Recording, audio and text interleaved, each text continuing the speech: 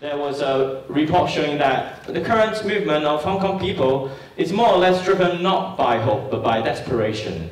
Scenes like that, more confrontation, uh, more escalation of force, more violence took place on the street, and both from the police side and from the protester side.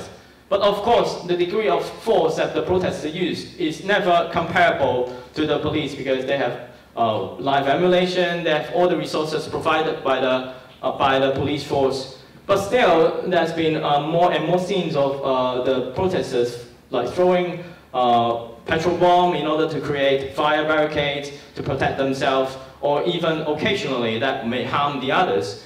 But if we look back to the root cause of such escalation of force, we could see that uh, the protesters are actually living under a constant fear, constant threat of intimidation, of shots, or life threats, of, or, or threats of disappearance, and they are actually very fragile.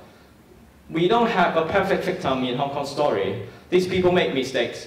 These people, they may use a wrong degree of force towards um, someone else, or they may have harmed people that they are not intended to harm.